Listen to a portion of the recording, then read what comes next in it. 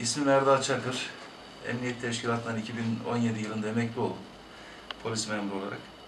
Ee, Şu anda sokak hayvanlarıyla ilgileniyoruz. Onları elimizden geldiği kadar bakımlarını, tedavilerini, ihtiyaçlarını gidermeye çalışıyoruz. Ee, Burayı da aşmaktaki maksadımız işte aile bütçesinden e, harcadığımız paraya bir katkı olsun diye. Buradan kazancımızla hayvanlara ihtiyaçlarını gidermeye çalışacağız. Buradan başka yere de Nazilli'de ikamet ediyorum. Ben oraya da gönderiyoruz onu. Burada baktığımız hayvanlarımız var.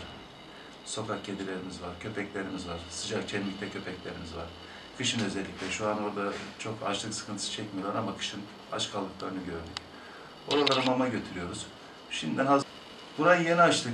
Çok bir sermayemiz yoktu ama işte elimizden geldiği kadar burayı e, yeni başladık yani başlıyoruz diyeyim. Vatandaşlara mümkün mertebede fiyatlarını da uygun veriyoruz. Ee, karı tamamen kazancı sokak hayvanlar için. Benim buradan hiçbir şekilde kendime menfaatim yok. Kirasını falan cebden ödüyorum. Kendim ödüyorum. İşte nasıl diyeyim yani biz bunu daha önceden çalışırken e, Nazilli'de de sokak sokak eşimle beraber gezerdik. Bütün sokak hayvanlarını yani elimizden geldiği kadarını yapabiliyorduk. Hepsine yetişmemiz mümkün değil. Hasta olanlar oluyordu, araba çarpmış olanlar oluyordu.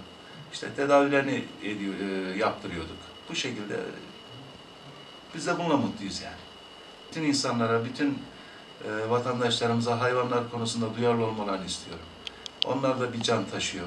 Onlara da yemek verilsin. Yani yemek verilmese de çok az bir evde kalan e, yiyeceklerden sonra bir köşeye bir kap su bunları koymaları onların hayatlarını devam ettirmeleri için yeterli olacak.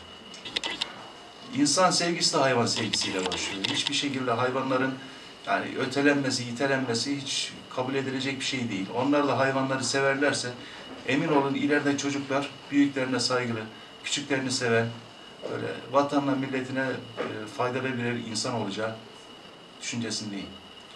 Yani insan sevgisi de hayvan sevgisiyle başlıyor. Bugün hayvana eziyet eden ileride insanlara eziyet ediyor. Bunu hepimiz biliyoruz yani.